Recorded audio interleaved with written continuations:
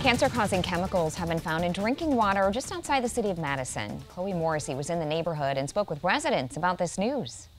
Test results from Public Health Madison and Dane County show that PFAS levels have spiked in the Waubesa Beach area. Results conclude that 15% of private well tests came back with PFAS levels above the standard, which is 70 parts per trillion here in Wisconsin. Also called forever chemicals, PFAS is known to not break down easily, which is why it's used in things like firefighting foam and nonstick cookware, but also why it's so dangerous to humans. What happens is that when you consume any kind of PFAS, it just stays in you. So it accumulates over time. And because it accumulates over time, that means their um, dangers can accumulate over time. These chemicals are known to cause cancer, low birth weights, and many other complications. Here on Waubesa Beach, residents say PFAS levels reached an extreme spike when they tested two years ago.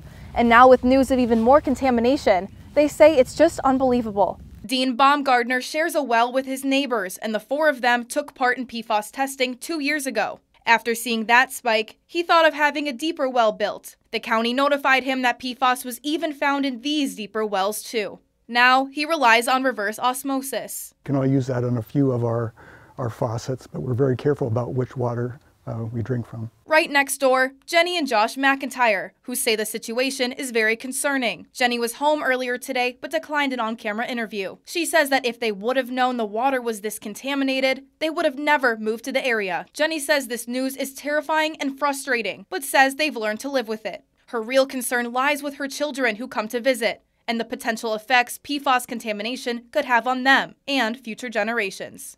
In the town of Dunn, Chloe Morrissey, 27 News.